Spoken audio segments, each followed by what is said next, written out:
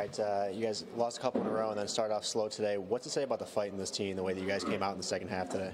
Um, we showed a lot of resilience. You know, we, uh, we were down, I think, 11, 10, 11, and going into halftime, and um, we just got better shots in the second half. Uh, we attacked mismatches. Uh, guys made shots, which helped us a lot. And then we had guys like Bourama and uh, Marek that was making big time plays down there for us. What really seemed to change throughout this game here, where you guys seemed to take over a little bit in the second half? I mean, well, Joe got going early in the second half. You know, Buddy got going in the second half, and uh, Bourama stepped up, make big time plays. Everyone came in and did something today, so it was just huge for us. You guys got Pitt on Wednesday, and then you're back here for the uh, the home finale of the year, in North Carolina. What's this week mean uh, as you guys kind of continue to extend the season here?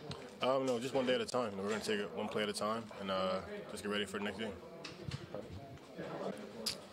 All right, Joe, what's to say about the fight in this team where you guys lost a couple in a row and had another struggling first half, but then you really turned it on in the second half today?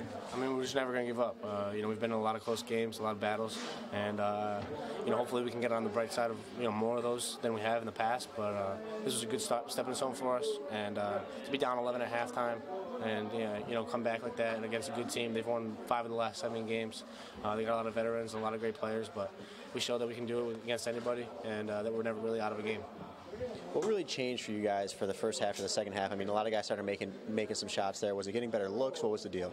Uh, yeah, I mean, we helped each other. We you know, you know worked with each other a little bit more. Uh, I think we shot over 60% in the second half. Coach said. Uh, I think we were just working more together and uh, just like I said, playing freely, but at the same time helping each other out. How about the defensive side? Seems like you took away a lot of the stuff that they got in the first half as well. Uh, what did you guys switch up there?